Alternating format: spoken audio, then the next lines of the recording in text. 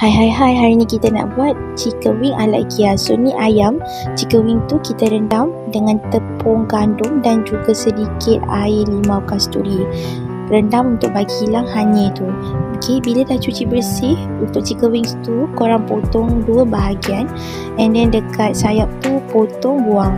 So ini adalah hasil ini bahan-bahan yang kita nak guna untuk berap. So mula-mula kita masukkan dulu bawang putih yang telah diketuk. Kalau korang ada garlic powder lagi okey. Kemudian letak sos tiram, sos cili, kicap manis, serbuk paprika,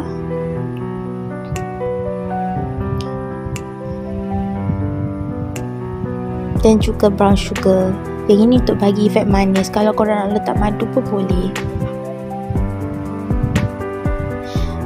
Kemudian kita masukkan rosemary, serbuk kunyit sedikit. Dan kita kacau-kacau bagi dia sebati.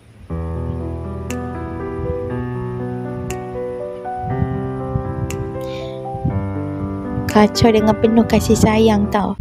Okey, bila dah sebati, korang boleh letak serbuk lada hitam ataupun lada hitam yang korang tumbuk. Lepas tu, korang gaulkan dia.